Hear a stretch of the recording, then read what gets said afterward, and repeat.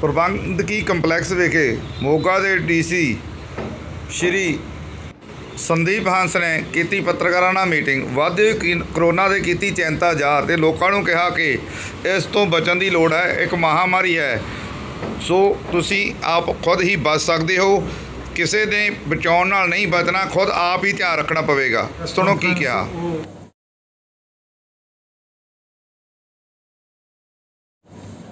ਇਸ ਮਨਸ਼ਾ ਨਾਲ ਰੱਖੀ ਗਈ ਕਿ ਲੋਕਾਂ ਨੂੰ ਇੱਕ ਵਾਰੀ ਫੇਰ ਇਸ ਗੱਲ ਦਾ ਚੇਤਾ ਦਵਾਇਆ ਜਾਵੇ ਕਿ ਇਹ ਕੋਵਿਡ ਹਜੇ ਹੌਲੀ ਹੌਲੀ ਜਿਹੜਾ ਹੈ, ਇਹ ਇਹ ਵੱਧ ਰਿਹਾ ਹੈ, ਇਹ ਫੈਲ ਰਿਹਾ ਹੈ। ਆਪਾਂ ਇੱਕ ਜੀਨ ਦਾ ਜਿਹੜਾ ਹੈ, ਇੱਕ ਨਵਾਂ ਤਰੀਕਾ ਔਰ ਸਲੀਕਾ ਸਿੱਖ ਲਿਆ ਹੈਗਾ, ਲੇਕਿਨ ਉਹਨੂੰ ਹੋਰ ਹਜੇ ਲੰਮੇ ਸਮੇਂ ਲਈ ਉਹਨੂੰ ਫੋਲੋ ਕਰਨਾ ਹੈ। ਮਾਸਕਿੰਗ ਔਰ ਸੋਸ਼ਲ ਡਿਸਟੈਂਸਿੰਗ ਤੇ ਬਹੁਤ ਅਸੀਂ ਜ਼ੋਰ ਨਾਲ ਪਹਿਰਾ ਦੇਣਾ ਹੈ। ਆਪਣੇ ਆਪ ਤੇ ਇਹ ਚੀਜ਼ਾਂ ਲਾਗੂ ਕਰਨੀਆਂ ਹਨ। ਔਰ ਸੋਸ਼ਲ ਗੈਦਰਿੰਗ ਜਿਹੜੀਆਂ ਹੈ ਅੱਜ ਕੱਲ ਦਾ ਜੋ ਹੁਣ ਸਮਾਂ ਹੈ ਪਿੰਡਾਂ ਵਿੱਚ ਲੋਕੀ ਆਪਣਾ ਅ, ਝੋਨਾ ਬੀਜ ਕੇ ਹੁਣ ਵਿਹਲੇ ਹੋ ਗਏ ਨੇ। ਤੇ ਸੋਸ਼ਲ ਗੈਦਰਿੰਗ ਵੀ ਹੁੰਦੀਆਂ ਪੋਲੀਟੀਕਲ ਮੀਟਿੰਗਾਂ ਵੀ ਹੁੰਦੀਆਂ ਧਰਨੇ ਵੀ ਲੱਗਦੇ ਹਨ। ਸੋ ਜੇਕਰ ਆਪਾਂ ਇਹਨਾਂ ਤੋਂ ਇਹਨਾਂ ਤੋਂ ਗੁਰੇਜ਼ ਕਰਾਂਗੇ ਇਹਨਾਂ ਤੋਂ ਇਹਨਾਂ ਤੇ ਰੋਕ ਲਗਾਵਾਂਗੇ ਤੇ ਆਪਾਂ ਖੁਦ ਦਾ ਵੀ ਫਾਇਦਾ ਆਪਣੇ ਪਰਿਵਾਰ ਦਾ ਪੂਰੇ ਸਮਾਜ ਦਾ ਫਾਇਦਾ ਕਰਾਂਗੇ। ਜਿੰਨਾ ਆਪਾਂ ਸੋਸ਼ਲ ਡਿਸਟੈਂਸਿੰਗ ਨੂੰ ਵਾਇਲੇਟ ਕਰਾਂਗੇ ਜਾਂ ਮਾਸਕ ਨੂੰ ਵਾਇਲੇਟ ਕਰਾਂਗੇ, ਇਹਦੇ ਨਾਲ ਜਿਹੜਾ ਹੈ ਕੋਵਿਡ ਦੇ ਫੈਲਣ ਦਾ ਖਤਰਾ ਜ਼ਿਆਦਾ ਰਹਿੰਦਾ ਹੈ। ਹਾਲਾਂਕਿ ਜਿੰਨੇ ਕੇਸ ਆਪਾਂ ਹੁਣ ਮੋਗੇ ਜ਼ਿਲ੍ਹੇ 'ਚ ਦੇਖੇ ਹੈ, ਠੀਕ ਹੈ, ਲੋਕੀ ਪੋਜ਼ਿਟਿਵ ਆਏ, ਲੋਕੀ ਕਿਉਰ ਹੋ ਕੇ ਡਿਸਚਾਰਜ ਵੀ ਹੋ ਗਏ, ਲੇਕਿਨ ਆਪਾਂ ਇਹ ਜਿਹੜੀ ਹੈ ਕੋਵਿਡ ਇਹ ਅੱਗ ਨਾਲ ਖੇਲਣ ਵਾਲੀ ਗੱਲ ਹੈ। ਆਪਾਂ ਜਿੰਨਾ ਆਪਣੇ ਆਪ ਤੇ ਕੰਟਰੋਲ ਕਰਾਂਗੇ, ਜਿੰਨਾ ਡਿਸਪਲਿਨ ਚ ਉਨਾ ਹੀ ਇਹ ਆਪਣੇ ਜ਼ਿਲ੍ਹੇ ਵਾਸਤੇ ਬਿਹਤਰ ਸਰ, ਕੀ ਕੀ ਪਲੈਨਿੰਗਸ ਆ ਆਪਾਂ ਇਸ ਕੋਵਿਡ ਨੂੰ ਲੈ ਕੇ? ਲਗਾਤਾਰ ਕੇਸਸ ਵੱਧ ਰਹੇ ਆ। ਜ਼ਿਲ੍ਹਾ ਪ੍ਰਸ਼ਾਸਨ ਦੀ ਕੀ ਕੀ ਅੱਗੇ ਆਉਣ ਵਾਲੇ ਦਿਨਾਂ 'ਚ? ਦੇਖੋ, ਅਸੀਂ ਜੋ ਨੋਟ ਕੀਤਾ ਹੈ, ਇਹ ਕੇਸਿਸ ਕਿਉਂ ਵੱਧ ਰਹੇ ਹਨ ਕਿ ਇੱਕ ਤਾਂ ਆਪਣੇ ਗੁਆਂਢ 'ਚ ਦੋ ਵੱਡੇ ਜ਼ਿਲ੍ਹੇ ਨੇ, ਜਲੰਧਰ ਔਰ ਲੁਧਿਆਣਾ। ਤੇ ਉੱਥੇ ਦੀ ਜਨਸੰਖਿਆ ਵੀ ਬਹੁਤ ਜ਼ਿਆਦਾ ਹੈ। ਉਥੇ ਐਕਟੀਵਿਟੀ ਬੜੀ ਜ਼ਿਆਦਾ ਹੈ ਮੂਵਮੈਂਟ ਬੜੀ ਜ਼ਿਆਦਾ ਹੈ ਲੇਬਰ ਦੀ ਮੂਵਮੈਂਟ ਹੈ, ਹੋਰ ਵੈਂਡਰਸ ਦੀ ਮੂਵਮੈਂਟ ਹੈਗੀ ਹੈ। ਬਾਹਰਲੀਆਂ ਸਟੇਟਾਂ ਤੋਂ ਵੀ ਬਹੁਤ ਲੋਕ ਆਏ ਹੈਗੇ, ਬਾਹਰਲੀ ਕੰਟਰੀਜ਼ ਤੋਂ ਵੀ ਬਹੁਤ ਲੋਕ ਆਏ ਹੈ। ਸੋ ਇਹ ਇਹ ਵਾਇਰਸ ਤਾਂ, ਇਹ ਤਾਂ ਫੈਲੇ ਹੀ ਹੋਇਆ, ਹਵਾ 'ਚ ਤਾਂ ਹੈ ਹੀ ਹੈ। ਸੋ ਜਿਹੜਾ ਵੀ ਕੈਰੀਅਰ ਹੁੰਦਾ ਹੈਗਾ, ਉਹ ਅੱਗੇ ਤੋਂ ਅੱਗੇ, ਉਹ, ਇਹ ਇਹ ਇਹ ਫੈਲੀ ਜਾ ਰਿਹਾ ਹੈਗਾ। ਆਪਣਾ ਜ਼ਿਲ੍ਹਾ ਜਿਹੜਾ ਹੈਗਾ, ਇਹ ਦੋ ਜ਼ਿਲ- ਜ਼ਿਲ੍ਹਿਆਂ ਨਾਲ ਬੜਾ ਨੇੜਿਓਂ ਜੁੜਿਆ ਹੋਇਆ, ਆਪਣੇ ਕਾਫੀ ਸਾਰੇ ਲੋਕ ਇਹਨਾਂ ਜ਼ਿਲ੍ਹਿਆਂ 'ਚ ਸਰਵਿਸ ਕਰਨ ਵੀ ਜਾਂਦੇ ਹੈਗੇ। ਬਿਜ਼ਨਸ ਵੀ ਬੜਾ ਜੁੜਿਆ ਹੋਇਆ, ਇੱਥੋਂ ਸਪਲਾਈਜ਼ ਵੀ ਆਉਂਦੀਆਂ ਹੈਗੀਆਂ ਇਹਨਾਂ ਜ਼ਿਲ੍ਹਿਆਂ ਤੋਂ। ਸੋ ਆਪਣਾ ਜ਼ਿਲ੍ਹਾ ਥੋੜਾ ਜਿਹਾ ਵਲਨਰੇਬਲ ਹੈ। ਥੋੜਾ ਜਿਹਾ ਇਹ ਖਤਰੇ ਦੇ ਘੇਰੇ ਜਾਂਦਾ ਹੈ। ਸੋ ਜ਼ਰੂਰਤ ਹੈ ਕਿ ਆਪਾਂ ਇਹ ਸਾਰੀ ਮੂਵਮੈਂਟ ਨੂੰ ਘਟਾਈਏ। ਇਹ ਜਿਹੜੀ ਬੇਵਜ੍ਹਾ ਦੀ ਮੂਵਮੈਂਟ ਹੈ, ਬੇਵਜ੍ਹਾ ਦੇ ਧਰਨੇ ਹਨ ਸੋਸ਼ਲ ਗੈਦਰਿੰਗਸ ਹਨ। ਅੱਜ ਕੱਲ ਥੋੜਾ ਜਿਹਾ ਇਹ ਇਹ ਜਿਹੜਾ ਸਮਾਂ ਹੁੰਦਾ, ਸਾਲ ਦਾ ਜਿਹੜੀ ਰੁੱਤ ਹੁੰਦੀ ਹੈ, ਮੇਲਿਆਂ ਦੀ ਰੁੱਤ ਹੁੰਦੀ ਹੈਗੀ। ਇਹ ਆਪਣਾ ਮੇਲੇ ਵੀ ਲੱਗ- ਲੱਗਦੇ ਹੈਗੇ। ਹੋਰ ਜਿਹੜੀਆਂ ਧਾਰਮਿਕ ਸਥਾਨਾਂ ਤੇ ਲੋਕੀ ਇਕੱਠੇ ਵੀ ਹੁੰਦੇ ਹੈਗੇ, ਸੋ ਉਹ ਸਾਰੀਆਂ ਚੀਜ਼ਾਂ ਜਿਹੜੀਆਂ ਹੈਗੀਆਂ ਸਰਕਾਰ ਨੇ ਬੈਨ ਕਰ ਦਿੱਤੀਆਂ ਹੈਗੀਆਂ, ਅਸੀਂ ਵੀ ਕਿਸੇ ਤਰ੍ਹਾਂ ਦੀ ਕੋਈ ਪਰਮਿਸ਼ਨ ਨਹੀਂ ਦੇ ਰਹੇ। ਲੇਕਿਨ ਇੱਕ ਸੈਲਫ ਇੰਪੋਜ਼ਡ ਇੱਕ ਚੈੱਕ ਲਗਾਉਣ ਦੀ ਲੋੜ ਹੈ ਹਰੇਕ ਵਿਅਕਤੀ ਨੂੰ, ਹਰੇਕ ਇਨਸਾਨ ਨੂੰ ਕਿ ਆਪਣੀ ਸੋਸ਼ਲ ਡਿਸਟੈਂਸਿੰਗ ਰੱਖੇ ਮਾਸਕਿੰਗ ਰੱਖੇ ਔਰ ਬੇਵਜ੍ਹਾ ਮੂਵਮੈਂਟ ਨਾ ਕਰੇ, ਸਿਰਫ ਲੋੜ ਪੈਣ ਤੇ ਹੀ ਬਾਹਰ ਜਾਵੇ।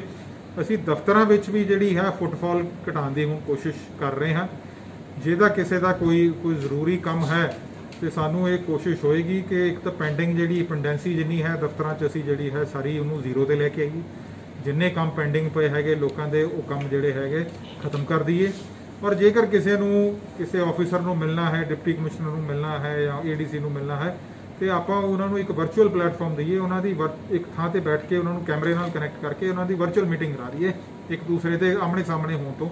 ਮਤਲਬ ਰੋਕਿਆ ਜਾਵੇ ਸਰ ਲਗਾਤਾਰ ਕੇਸ ਵਧ ਰਹੇ ਆ ਸਰ ਲੇਕਿਨ ਲੋਕ ਫਿਰ ਵੀ ਬੇਪਰਵਾਹ ਪਾਰਕਾਂ ਦੇ ਵਿੱਚ ਵੀ ਯੋਗਾ ਕਲਾਸਿਸ ਚੱਲਦੀਆਂ ਹੋਰ ਵੀ ਲੋਕ ਆਉਂਦੇ ਨੇ ਕਈ ਜਗ੍ਹਾ ਤੇ ਇਕੱਠੇ ਵੀ ਹੁੰਦੇ ਨੇ ਉਹਨਾਂ ਦੀ ਸਰ- ਬੱਸਾਂ 'ਚ ਵੀ ਦੇਖਿਆ ਗਿਆ ਬੜਾ ਰਸ਼ ਹੁੰਦਾ ਹੈ ਬੱਸਾਂ ਨਾਲ ਦੀ ਨਾਲ ਦੇਖੋ- ਬੱਸ ਸਟੈਂਡ ਤੇ ਰਿਐਲਿਟੀ ਚੈੱਕ ਕੀਤਾ ਸੀਗਾ ਸਰ ਉੱਥੇ ਵੀ ਕੋਈ ਮੁਲਾਜ਼ਮ ਨਹੀਂ ਕੋਈ ਸਿਹਤ ਅਧਿਕਾਰੀ ਨਹੀਂ ਉੱਥੇ।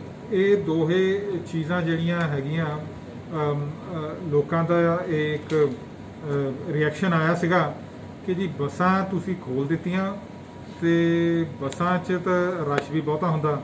ਤੇ ਦੂਸਰੇ ਪਾਸੇ ਤੁਸੀਂ ਇਹ ਕਹਿੰਦੇ ਹੈਗੇ ਹੋ ਵੀ ਸਕੂਲ ਨਹੀਂ ਖੋਲਨੇ ਜਾਂ ਐਜੂਕੇਸ਼ਨਲ ਇੰਸਟੀਟਿਊਸ਼ਨ ਨਹੀਂ ਖੋਲਨੇ ਦੇਖੋ ਕੁਝ ਚੀਜ਼ਾਂ ਹੁੰਦੀਆਂ ਜਿਹੜੀਆਂ ਆਪਣੀ, ਆਪਣੇ ਸਟੇਟ ਦੀਆਂ ਜਾਂ ਆਪਣੇ ਜ਼ਿਲ੍ਹੇ ਦੀਆਂ ਇਕਨੋਮਿਕਸ ਨਾਲ ਜੁੜੀਆਂ। ਹੁਣ ਜਾਂ ਤਾਂ ਆਪਾਂ ਕੋਵਿਡ ਡੈਥ ਜਾਂ ਤਾਂ ਕੋਵਿਡ ਨਾਲ ਮਰ ਜਾਵਾਂਗੇ ਜਾਂ ਆਪਾਂ ਇਕਨੋਮਿਕ ਡੈਥ ਸੋ ਇਸ ਚੀਜ਼ ਨੂੰ ਦੇਖਦੇ ਹੋਏ ਸਰਕਾਰ ਨੇ ਔਰ ਇਹ ਇਹ ਫੈਸਲਾ ਲਿਆ ਸੀਗਾ ਵੀ ਠੀਕ ਹੈ, ਉਹ ਵਿਚਾਰ ਰੱਖ ਕੇ ਜਿੰਨਾ ਕੁ ਆਪਾਂ ਡਿਸਟੈਂਸ ਰੱਖ ਕੇ ਬਸਤ ਔਰ ਬੱਸਾਂ, ਕਿਉਂਕਿ ਇੱਕ ਆਮਦਨ ਦਾ ਜ਼ਰੀਆ ਵੀ ਹੈ, ਕਿਸੇ ਲੋਕਾਂ ਦਾ, ਕਈਆਂ ਦਾ ਹੋਰ ਟ੍ਰੇਡ ਵੀ ਹੈਗਾ ਬਿਜ਼ਨਸ ਵੀ ਹੈਗਾ, ਤੇ ਉਹਦੇ ਨਾਲ ਕਈ ਹੋਰ ਛੋਟੇ ਮੁਲਾਜ਼ਮ, ਕੋਈ ਡਰਾਈਵਰ ਕੰਡਕਟਰ ਕਲੀਨਰ ਉਹ ਸਾਰੇ ਜੁੜੇ ਹੋਏ। ਸੋ ਉਸ ਚੀਜ਼ ਨੂੰ ਇੱਕ ਨੈਸੈਸਰੀ ਉਹਨੂੰ ਮੈਂ ਈਵਲ ਕਹਿਣਾ, ਉਹ ਮੰਨਦੇ ਹੋਏ ਆਪਾਂ ਨੂੰ ਉਹਨੂੰ ਚਲਾਉਣਾ ਪੈਣਾ ਹੈ। ਲੇਕਿਨ ਬੇਵਜ੍ਹਾ ਦੀ ਗੈਦਰਿੰਗ ਜੇ ਮੈਂ ਹੁਣ ਕਹਾ ਕਿ ਜੀ ਮੈਂ ਆਪਣਾ ਜਨਮ ਦਿਨ ਸੈਲੀਬ੍ਰੇਟ ਕਰਨਾ ਹੈ 30 ਬੰਦੇ ਤੱਕ ਅਲਾਉਡ ਹੈ, ਤਾਂ ਮੈਂ 30 ਬੰਦੇ ਬੁਲਾ ਕੇ ਤਾਂ ਮੈਂ ਜਨਮ ਦਿਨ ਸੈਲੀਬ੍ਰੇਟ ਕਰਾਂ। ਇਸ ਚੀਜ਼ ਨੂੰ ਤਾਂ ਆਪਾਂ ਅਵੋਇਡ ਕਰ ਸਕਦੇ ਹਾਂ। ਬੱਸ ਦੇ ਵਿੱਚ ਟਰੈਵਲ ਕਰਨਾ ਜਿਸ ਬੰਦੇ ਕੋਲ ਹੋਰ ਕੋਈ ਸਾਧਨ ਨਹੀਂ ਹੈ, ਉਹਦੇ ਕੋਲ ਬੱਸ ਹੀ ਹੈ, ਇੱਕ ਟਰੈਵਲ ਕਰਨ ਦਾ ਸਾਧਨ।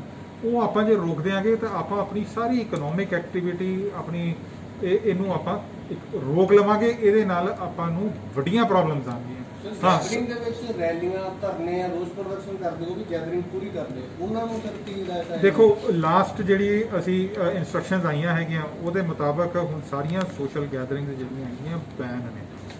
ਇਹ ਐਸਐਸਪੀ ਸਾਹਿਬ ਨਾਲ ਵੀ ਗੱਲ ਹੋ ਗਈ ਹੈਗੀ ਅਸੀਂ ਜਥੇਬੰਦੀਆਂ ਨਾਲ ਵੀ ਗੱਲ ਕਰ ਲਈ ਹੈਗੀ। ਤਕਰੀਬਨ ਤਕਰੀਬਨ ਸਾਰੇ ਇਸ ਗੱਲ ਨਾਲ ਰਾਜ਼ੀ ਹੋ ਗਏ ਹੈਗੇ ਕਿ ਅਸੀਂ ਜਿਹੜੀਆਂ ਹੈਗੀਆਂ ਕਿਸੇ ਕਿਸਮ ਦੇ ਰੋਸ਼ ਮੁਜ਼ਾਹਰੇ ਧਰਨੇ ਜਿਹੜੇ ਨਹੀਂ ਕਰਾਂਗੇ। ਜੇਕਰ ਮੈਮੋਰੈਂਡਮ ਹੀ ਦੇਣਾ ਹੈ ਤੇ ਦੋ ਬੰਦੇ, ਤਿੰਨ ਬੰਦੇ ਆ ਕੇ ਆਪਣਾ ਮੈਮੋਰੈਂਡਮ ਦੇ ਦੇਣ। ਅਸੀਂ ਤਾਂ ਇਸ ਗੱਲ ਦੇ ਵੀ ਹੁਣ ਅਸੀਂ ਇਸ ਤੇ ਪਹਿਰਾ ਦੇਣਾ ਚਾਹੁੰਦੇ ਹਾਂ ਵੀ ਮੈਮੋਰੈਂਡਮ ਵਾਸਤੇ ਵੀ ਇੱਕ ਜਿਹੜੀ ਅਸੀਂ ਕੋਈ ਬਕਸਾ ਲਗਾ ਦਈਏ, ਉੱਥੇ ਆ ਕੇ ਆਪਣਾ ਮੈਮੋਰੈਂਡਮ ਜਿਹੜਾ ਪਾ ਦਿਓ। ਨਾ ਕਿ ਦਫ਼ਤਰ ਜਾ ਕੇ ਪਹਿਲਾਂ ਆਪਾਂ ਫੋਟੋ ਖਿਚਵਾਈਏ ਵੀ ਜੇ ਅਸੀਂ ਪ੍ਰੈਸ 'ਚ ਦੇਣੀ ਹੈਗੀ। ਇਹ ਸਾਰੀਆਂ ਗੱਲਾਂ ਨਾਰਮਲ ਕੋਰਸ 'ਚ ਚੱਲਦੀਆਂ ਸੀਗੀਆਂ। ਹੁਣ ਸਮਾਂ ਥੋੜਾ ਜਿਹਾ ਇਸ ਵੇਲੇ ਸੀ- ਹੈਗਾ ਸੈਂਸਿਟਿਵ ਹੈਗਾ, ਸੰਵੇਦਨਸ਼ੀਲ ਹੈ। ਤੋਂ ਆਪਾਂ ਨੂੰ ਇਹ ਸਾਰੀਆਂ ਗੱਲਾਂ ਤੇ ਕੰਟਰੋਲ ਕਰਨਾ ਪਏਗਾ।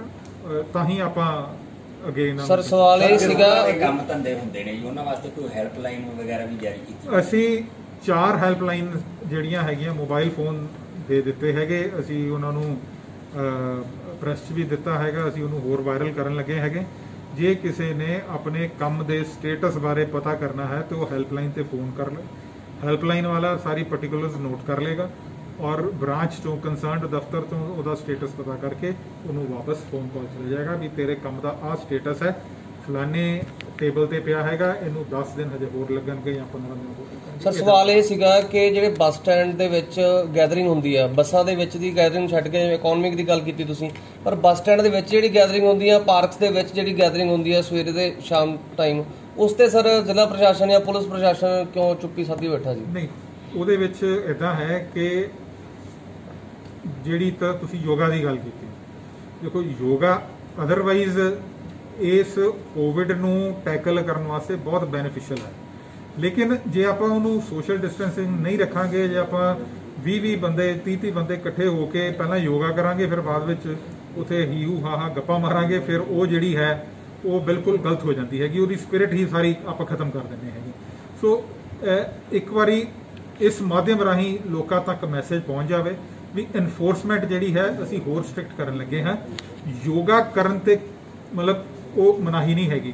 ਲੇਕਿਨ ਯੋਗਾ ਕਰਨ ਤੋਂ ਬਾਅਦ ਆਪਾਂ ਜਦੋਂ ਉਥੇ ਬੈਠ ਕੇ ਨੇੜੇ ਨੇੜੇ ਹੋ ਕੇ ਆਪਾਂ ਜੇ ਉਥੇ ਗੱਪਾਂ ਮਾਰਾਂਗੇ ਜਾਂ ਗੌਸਿਪ ਕਰਾਂਗੇ ਉਹਦੇ ਨਾਲ ਨੁਕਸਾਨ ਹੋ ਸਕਦਾ ਹੈਗਾ। ਯੋਗਾ ਕਰਕੇ ਆਪਣੇ ਆਪਣੇ ਬੰਦਾ ਆਪਣੇ ਆਪਣੇ ਘਰੇ ਚਲੇ ਜਾਵੇ ਤਾਂ ਉਹ ਕਾਰਗਰ ਉਹ ਹੈਲਪਫੁਲ ਹੈਗੀ। ਸੋ ਸਰ ਇਸ ਗੱਲ ਨੂੰ ਸਮਝਣ ਦਾ ਹੈ। ਆਪਾਂ ਇਹ ਕੀ ਕੰਮ ਕਰ ਰਹੇ ਹੈਗੇ? ਜਦੋਂ ਆਪਣਾ ਉਹ ਕੰਮ ਉਹ ਆਪਣਾ ਕਾਰਜ ਪੂਰਾ ਹੋ ਗਿਆ ਉਸ ਤੋਂ ਬਾਅਦ ਸਾਡੀ ਕੀ ਡਰਿਲ ਹੋਣੀ ਚਾਹੀਦੀ ਹੈ? ਆਪਾਂ ਨੂੰ ਅ, ਕਰੋ ਇੱਕ ਇੱਕ ਕਰਕੇ ਆਪਾਂ ਨੂੰ ਉਥੋਂ ਡਿਸਪਰਸ ਕਰ ਦੇਣਾ ਚਾਹੀਦਾ। ਇਹ ਗੱਲ ਸਮਝਣ ਦੀ ਹੈ। ਇਹ ਅਸੀਂ ਇਸ ਮਾਧਿਅਮ ਰਾਹੀਂ ਮੈਂ ਸਮਝਾ ਵੀ ਰਿਹਾ ਹੈਗਾ। ਅਸੀਂ ਹੋਰ ਲੋਕਾਂ ਨੂੰ ਅਵੇਅਰ ਕਰਾਂਗੇ। ਹਰ ਚੀਜ਼ ਦਾ ਇਲਾਜ ਮਤਲਬ ਫਾਈਨ ਕਰਨਾ ਚਲਾਨ ਕਰਨਾ ਉਹ ਨਹੀਂ ਹੈ। ਇੱਕ ਸੈਲਫ ਰਿਅਲਾਈਜੇਸ਼ਨ ਦੀ ਲੋੜ ਹੈਗੀ। ਇਸ ਵੇਲੇ ਮੈਂ ਜੇ ਤੁਹਾਡੇ ਰਾਹੀਂ ਜੇ ਪਬਲਿਕ ਦੇ ਜੇ ਮੈਂ ਮੁਖਾਤਬ ਹੋ ਰਿਹਾ ਹੈਗਾ, ਮੇਰਾ ਕਹਿਣ ਦਾ ਮਤਲਬ ਇਹੀ ਹੈ ਕਿ ਆਪਾਂ ਚਲਾਨ ਤੋਂ ਨਾ ਬਚੀਏ ਆਪਾਂ ਬਚੀਏ ਔਰ ਆਪਾਂ ਇਹਨੂੰ ਪ੍ਰੈਕਟਿਸ ਇਸ ਢੰਗ ਨਾਲ ਕਰੀਏ ਕਿ ਇਹ ਸਾਡੇ ਜੇ ਸੋਸ਼ਲ ਡਿਸਟੈਂਸਿੰਗ ਦੀ ਗੱਲ ਕਰ ਰਹੇ ਹਾਂ ਜਾਂ ਮਾਸਕਿੰਗ ਦੀ ਗੱਲ ਕਰ ਰਹੇ ਇਹ ਮੈਂ ਚਲਾਨ ਤੋਂ ਬਚਣ ਵਾਸਤੇ ਨਹੀਂ ਪਾ ਰਿਹਾ। ਇਹ ਮੈਂ ਕੋਵਿਡ ਤੋਂ ਬਚਣ ਵਾਸਤੇ ਕਰ ਰਿਹਾ। ਇਸ ਚੀਜ਼ ਦਾ ਮੈਸੇਜ ਪਬਲਿਕ ਨੂੰ ਸਮਝਣਾ ਚਾਹੀਦਾ। ਸਰ ਜਿੱਦਾਂ ਗਾਈਡਲਾਈਨਸ ਦੇ ਪੇਪਰ ਸ਼ੁਰੂ ਹੋਏ ਜੀ ਮੋਗਾ ਜ਼ਿਲ੍ਹਾ ਦੇ ਵਿੱਚ ਸ਼ੁਰੂ ਹੋਏ ਨੇ ਉੱਥੋਂ ਕੋਈ ਪਾਬੰਦੀਆਂ ਲਗਾਈਆਂ ਕੁਝ ਕੀਤਾ ਗਿਆ? ਜਿਹੜੇ ਆਇਲਟਸ ਦੇ ਪੇਪਰ ਹੈਗੇ ਜੀ ਉਹਦੇ ਬਾਰੇ ਬੜੀਆਂ clear cut guidelines government of India ministry of home ਤੋਂ ਹੀ ਆ ਗਈਆਂ ਸੀਗੀਆਂ। ਵੀ ਉੱਥੇ ਜਿੱਥੇ ਵੀ ਕਿਤੇ ਸੈਂਟਰ ਬਣਨਗੇ ਇਹ ਸੈਂਟਰ ਦੇ ਵਿੱਚ ਉਹ ਡਿਸਟੈਂਸ ਵੀ ਉਹਨਾਂ ਨੇ ਦੱਸਿਆ ਇੰਨੇ ਇੰਨੇ ਡਿਸਟੈਂਸ ਤੇ ਸੀਟਾਂ ਲੱਗਣਗੀਆਂ। ਇਦਾਂ ਐਂਟਰੀ ਹੋਏਗੀ ਇਦਾਂ ਐਗਜ਼ਿਟ ਹੋਏਗੀ ਔਰ ਪ੍ਰੋਪਰ ਇੱਕ ਪ੍ਰੋਟੋਕਾਲ ਫੋਲੋ ਕੀਤਾ ਜਾਏਗਾ। ਤੇ ਇਹਦੇ ਤੋਂ ਇਲਾਵਾ ਜ- ਇਹ ਗੱਲ ਇੱਥੇ ਇਹ ਵੀ ਉੱਠਦੀ ਹੈਗੀ ਵੀ ਆਇਲਟ ਸੈਂਟਰ ਖੁੱਲ ਕਿਉਂ ਨਹੀਂ ਰਹੇ? ਦੇਖੋ, ਜੇ ਆਇਲਟ ਸੈਂਟਰ ਵੀ ਇੱਕ ਤਰ੍ਹਾਂ ਦਾ ਸਕੂਲ ਜਾਂ ਜਿਵੇਂ ਦੂਜੇ ਐਜੂਕੇਸ਼ਨਲ ਇੰਸਟੀਟਿਊਟਸ ਆ ਉਦਾਂ ਦਾ ਹੀ। ਹੈ ਸੋ ਉਹ, ਉੱਥੇ ਤਾਂ ਮਤਲਬ ਸੋਸ਼ਲ ਡਿਸਟੈਂਸਿੰਗ ਆਪਾਂ ਕਲਾਸਰੂਮ ਦੇ ਵਿੱਚ ਵੜ ਕੇ ਕਿਵੇਂ ਉਹਨੂੰ ਜਿਹੜਾ ਹੈ ਸੁਪਰਵਾਈਜ਼ ਕਰਾਂਗੇ ਜਾਂ ਮੋਨੀਟਰ ਕਰਾਂਗੇ? ਸੋ ਲੇਕਿਨ ਆਇਲਟਸ ਦਾ ਪੇਪਰ ਹੈਗਾ, ਹੁਣ ਜਿਨ੍ਹਾਂ ਨੇ ਤਿਆਰੀ ਕੀਤੀ ਹੋਈ ਹੈ, ਉਹ ਪੇਪਰ ਹੋਣਾ ਹੈ। ਜਿਵੇਂ ਸਿਵਲ ਸਰਵਿਸਿਜ਼ ਦਾ ਪੇਪਰ ਹੈ ਉਦਾਂ ਹੀ ਆਇਲਟਸ ਦਾ ਇੱਕ ਪੇਪਰ ਹੈ। ਸੋ ਇਹ ਪੇਪਰ ਦੇ ਵਿੱਚ ਇਹ ਹੋਏਗਾ ਔਰ ਇਹਨੂੰ ਰੈਗੂਲੇਟ ਕਿਵੇਂ ਕਰਨਾ ਹੈਗਾ, ਉਹਦੀਆਂ ਗਾਈਡਲਾਈਨਸ ਆਈਆਂ ਹੋਈਆਂ। ਅਸੀਂ ਉਹ ਕੱਲ ਗਾਈਡਲਾਈਨਸ ਇਸ਼ੂ ਵੀ ਕਰ ਦਿੱਤੀਆਂ ਹੈਗੀਆਂ।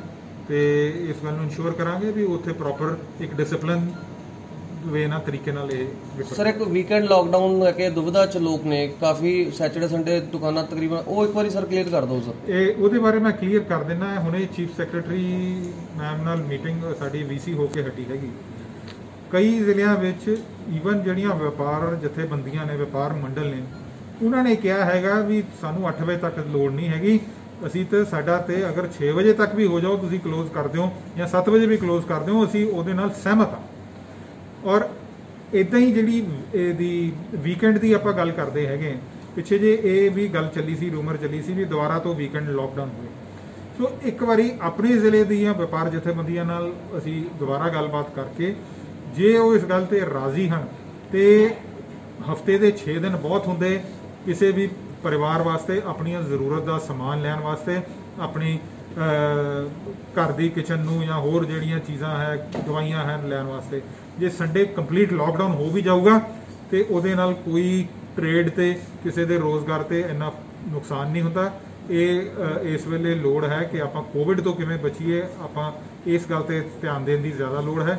ਸੋ ਮੈਂ ਸਾਰੀ ਜਿੰਨੀਆਂ ਵੀ ਆਪਣੀਆਂ ਸਮਾਜਿਕ ਜਥੇਬੰਦੀਆਂ ਹਨ, ਜਿੰਨੇ ਵੀ ਸਿਆਸੀ ਲੋਕ ਹਨ, ਜਿੰਨੀਆਂ ਧਾਰਮਿਕ ਜਥੇਬੰਦੀਆਂ ਹਨ ਐਨਜੀਓਜ਼ ਹਨ, ਮੈਂ ਉਹਨਾਂ ਨੂੰ ਤੁਹਾਡੇ ਮਾਧਿਅਮ ਰਾਹੀਂ ਇਹ ਅਪੀਲ ਕਰਦਾ ਹਾਂ ਕਿ ਆਪਾਂ ਇਹਨੂੰ ਇੱਕ ਕੈਂਪੇਨ ਦੀ ਚਲਾ ਚਲਾਈਏ, ਇੱਕ ਦੂਸਰੇ ਤੇ ਚੈੱਕ ਰੱਖੀਏ ਔਰ ਜਿੰਨੀ ਪ੍ਰੀਕਾਸ਼ਨ ਹੋ ਸਕੇ, ਜਿੰਨੇ ਇhtiyat ਆਪਾਂ ਵਰਤ ਸਕਦੇ ਹਾਂ, ਉਨੇ ਵਰਤੀਏ ਤਾਂ ਕਿ ਆਉਣ ਵਾਲੇ ਟਾਈਮ ਵਿੱਚ ਜਿਹੜੇ ਹੈ, ਇਹ ਕੇਸਿਸ ਵਧਣ ਨਾਲ ਆਪਾਂ ਇਹਨਾਂ ਨੂੰ ਘਟਾ ਲਈਏ ਜ਼ੀਰੋ ਤੇ ਲੈ